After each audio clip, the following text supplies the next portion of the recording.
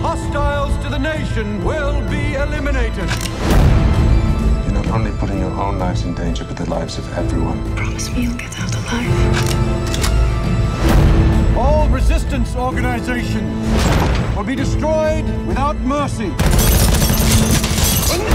This is a suicide mission. Are you sure you're ready for this? This is about our futures.